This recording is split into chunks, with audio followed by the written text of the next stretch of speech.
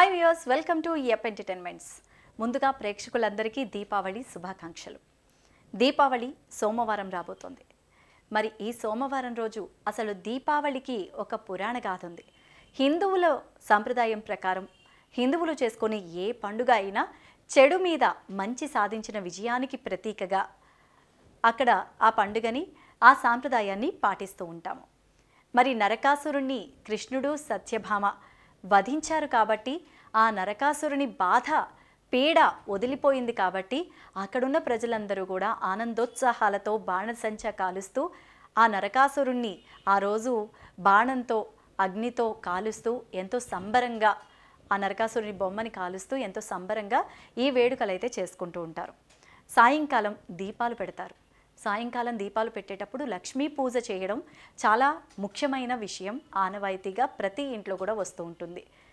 ఎక్కువగా దీపావళి పండుగని పొద్దున్నుంచి అంటే పొద్దున్నుంచి మామూలుగా పిండి వంటలు అన్నీ చేసుకొని ఇంటిల్లి పాది కొత్త బట్టలు ధరించి చక్కగా భోజనాలు ఇవన్నీ చేస్తారు. అయితే ఈ దీపావళికి సాయంత్రం పూజ అనేది చాలా ముఖ్యమైన విషయం అన్నమాట. సాయంకాలం అయిన తర్వాత ఈసారి అంటే సోమవారం రోజు మాత్రము సాయంకాలం ఏ సమయంలో చేయాలి అనే విషయానికి వస్తే ఐదు గంటల ముప్పై తొమ్మిది నిమిషాల నుంచి ఆరు గంటల యాభై ఒక్క నిమిషాల మధ్య దీపాలు పెట్టి లక్ష్మీ పూజ చేయడం శ్రేయస్కరం అని చెప్పేసి మన పురాణాలు పండితులు ఈ విషయాన్ని చెప్తున్నారు. ఎందుకంటే ఆ తర్వాత రోజు అమావాస్య అమావాస్య గ్రహణం రెండూ ఉన్నాయి కాబట్టి ఈసారి దీపావళి విషయంలో చాలా చాలా డౌట్స్ అనమాట అను అనుమానాలు అనేవి చాలా మందికి ఉన్నాయి.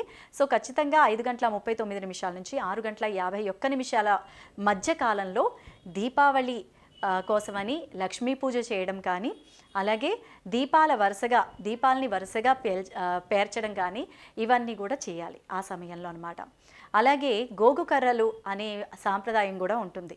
గోగు కర్రలని ఆకాశానికి చూపించి దానికి చిన్న చిన్న గుడ్డ పీలికలు కట్టి వాటిని వెలిగించి ఆకాశానికి చూపించి చాలామంది ఈ సాంప్రదాయాన్ని పాటిస్తారు.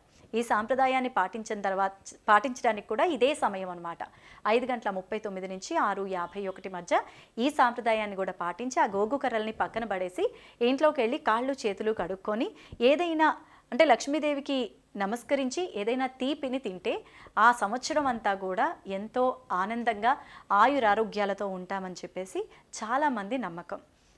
అందుకే ఈసారి అందరూ కూడా ఈ నియమాల్ని ఆ రోజు అంటే మనం ఏదైతే పండితులు చెప్తున్నారో ఆ కాలంలో లక్ష్మీ పూజ చేసి సర్వైశ్వర్య శుభాలు కలగాలని మనస్ఫూర్తిగా కోరుకుంటున్నాం.